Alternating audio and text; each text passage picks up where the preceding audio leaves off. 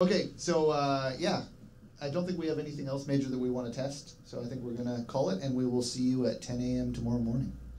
Wait, wait. I got this. I got this. Are you gonna I crash it? got this. No, you're gonna cry. Tech test is over, friends. That can only mean one thing.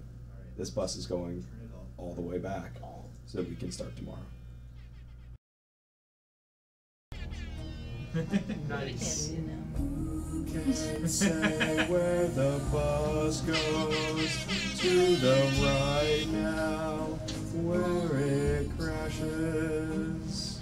Who can say where the bus goes?